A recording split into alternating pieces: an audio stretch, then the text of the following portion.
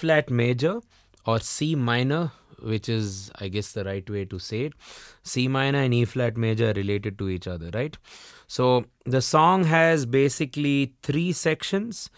There's the verse which goes, There's a fire, na na na na na, right? Then it has the pre chorus, The stars of your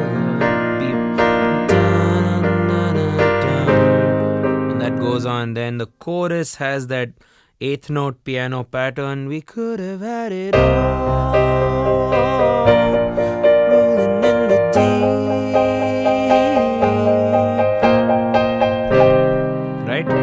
So let's basically go ahead and learn each section. I guess we'll start with the chorus and then we'll try and backtrack to the verse, which is quite interesting. So every section you can have a different pattern to play on the uh, on the keyboard. So let's first look at the chorus chords. First of all, the chords are C minor, B flat, rolling in the deep that's an A flat seventh or major seventh rather. And the way I'm playing A flat major seventh is I'm playing a C minor in my right hand and an A flat in the left hand. So it's sort of like a C minor with an A flat bass. And what that does is you have an extended chord which has four notes in it, right? So that's the chord they use for the chorus so it's basically C minor, B flat, we could have had it, or A flat major 7, A flat, B flat, C. So just remember that the A flat chord happens for 4 plus 2. So that's A flat, 3, 4, A flat, B flat, right? So let's do it with the left hand. We could have had oh, B flat rolling in the deep. A flat, A flat, B flat, C minor. Your head, B flat, and you played it A flat. Played it A flat, B flat. So it's essentially the same chord progression which gets repeated into two. That's C minor, B flat, A flat major seventh, A flat major seventh, B flat major. It's a, it's a sum total of about three unique chords. I'll tell you the words at which it comes. We could have had it all. So all has two chords. Rolling in the deep, deep, deep. I had my heart inside, side your head, and you played it. That's A flat. Played it to the beat, and then it goes to the verse. Now on the piano, what we do is you basically have this nice thumping eighth note pattern. And the left hand plays the bass notes of each chord essentially the name of the chord. So c minor c b flat major b flat and so on. We could have had it all just have two chord shapes in the right hand essentially C minor, B flat major, again C minor because it's A flat major 7th, right? And then B flat major. Let's do that again with the rhythm. Also, the accents are on 1 2 3 1 2 3 1 2 1 2 3 1 2. That'll sound very groovy. Try to get that and also use your wrist to get a nice accent going. One, two, one, two. No, rolling in the deep. I haven't had. Let's do that again with the left hand. Rolling in the deep.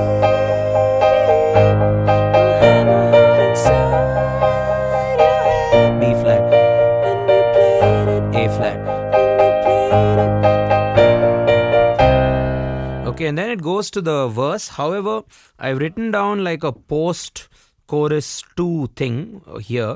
What that basically means is the chorus happens a sum total of. Uh, well, a lot of times in the song. So there's chorus 1. Right after chorus 1, it goes back to verse 1.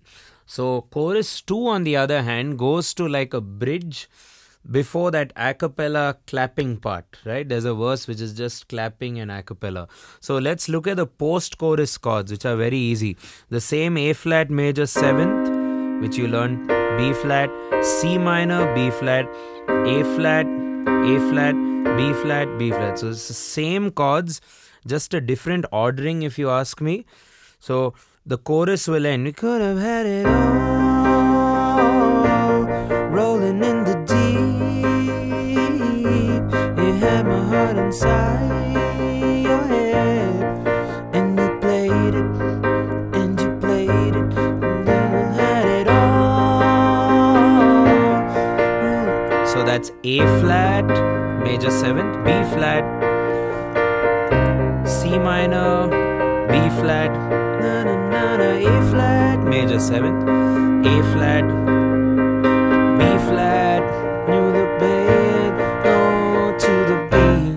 and then goes to that clapping a cappella part, right? So now we have the next section, which is the pre chorus. I'm just going like uh, before in time. So the pre chorus chords are A flat, na na, B flat, na na, G minor, na na, A flat, na na na na, A flat, na na, B flat, na na, G minor, G major. So that's a very interesting transition. You have a G minor at the end and then a G major, which is actually out of the key. It sort of makes it the C harmonic minor scale for a short while there. And G takes you very well to the C minor chorus. G minor doesn't pull you as hard as G major does. So that's a very interesting compositional thing there. So you have uh, A flat, B flat, na na, G minor, na, A flat, and thinking. So there's like a ghost B flat as well, which only the pianist plays. So A flat, 2, 3, 4, B flat, 2, 3, 4, G minor, 2, 3, 4, A flat, 2, 3, 4, 1. So this is actually at the end of the bar, at the 4. And then it goes to the same thing, almost A flat, B flat, G minor, G major. Okay, so that's the difference. In line, in the first cycle, it's A flat ending. Second cycle is G major ending because they are going to the chorus. Okay, so let's look at this now with the left hand. Flat, G minor. Always the roots in the left hand, A flat. So when you do that additional ghost B flat here, you don't need to change the bass note in the left hand. So that's A flat, na na, B flat, na na na, G minor, na, A flat,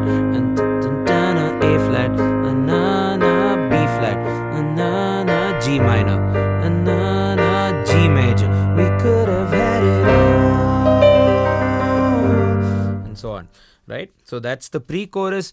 Another way you could perhaps play the pre-chorus is with an eighth note passage in the left hand, just to make it a little bit more uh, punchy.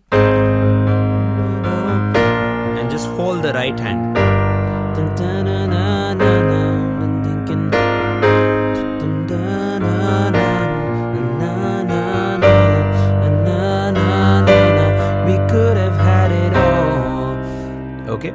And let me do that a bit slower.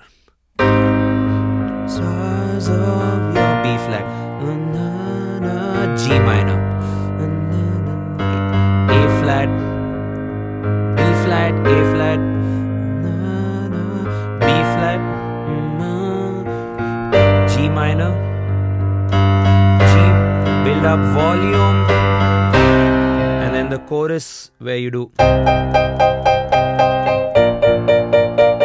that higher around this region is good.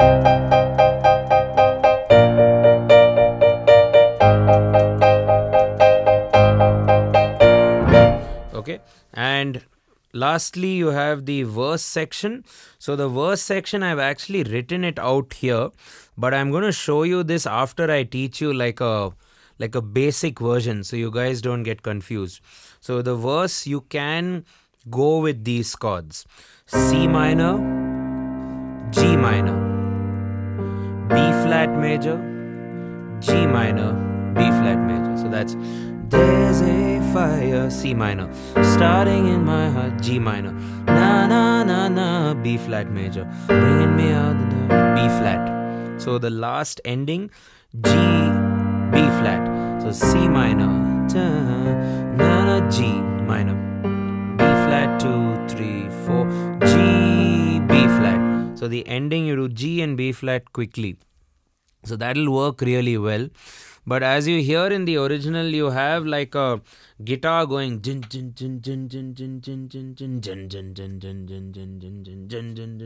right there's that unique pattern so we can get a bit of that as well on the piano by playing what we call as power chords so this is oh. like a common power chord. So the power chord is built with the root of that chord then the fifth of the chord and then you can add the optional octave which I'm for now not doing. So you can do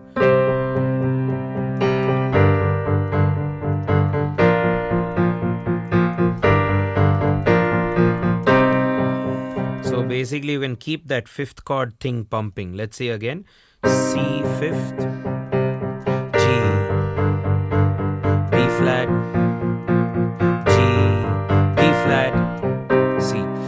another thing to realize is your chords are C G, you don't hit the G at the on beat, you hit it at the off beat. And that's what I've written down here.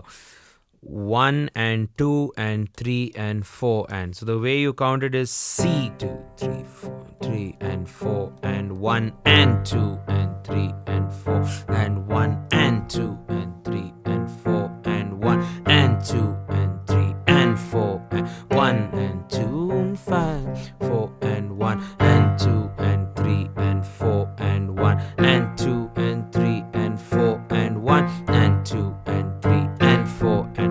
so basically every chord other than the C minor chord or the C fifth chord is all at the end of the one or there's one chord at the end of the three. So let me show that again with you only the left hand and I'll try and hum along.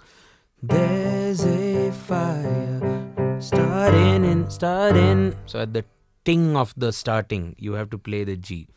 There's a fire starting in my heart,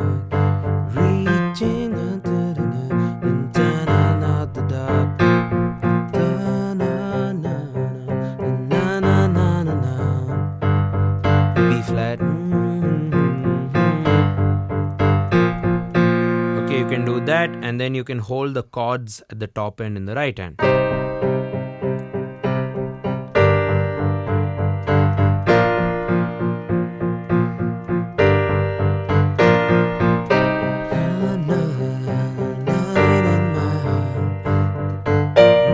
And so on.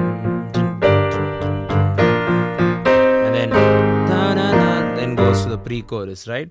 Another thing you could do on the piano if you're finding it difficult to play the fifth or if you just don't like it, maybe the guitarist is doing it himself, you can just go down below and play like a super low root of each chord. Uh,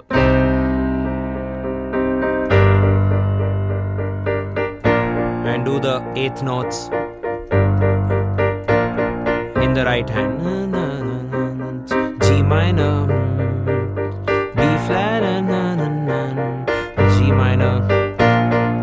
let's just recap the verse section. You have three patterns. Pattern number one is the simple starting off one where you do. Start, just hold the chord G minor, B flat, G minor, B flat, right? Just holding. The second pattern is where you do power chords and the right hand just holds.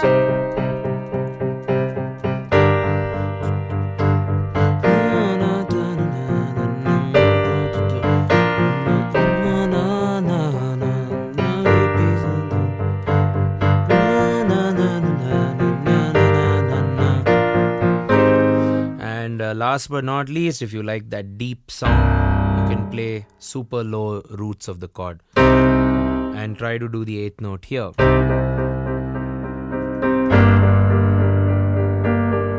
At the off, possibly. And you need to make sure your entire band is doing that off thing. Otherwise, it may not sound too cool.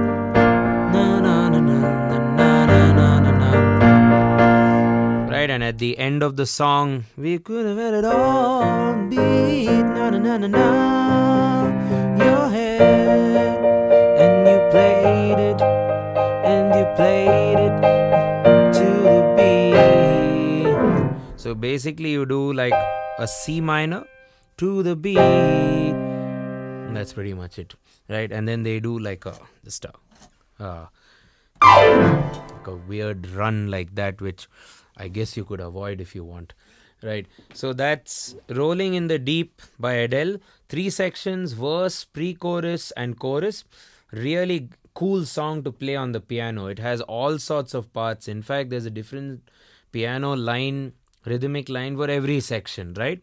Really cool chords, great rhythm pattern, and also don't forget that there's a post chorus which happens only post chorus number two before that clapping a cappella part right? So hope you guys have found the tutorial useful. And if you have any doubts do leave them out in the comments and we'll be happy to help. Cheers